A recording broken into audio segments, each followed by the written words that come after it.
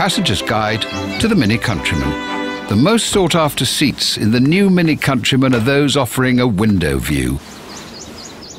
And once secured, should be retained at all costs. Luckily, a gentleman should always open the door for a lady.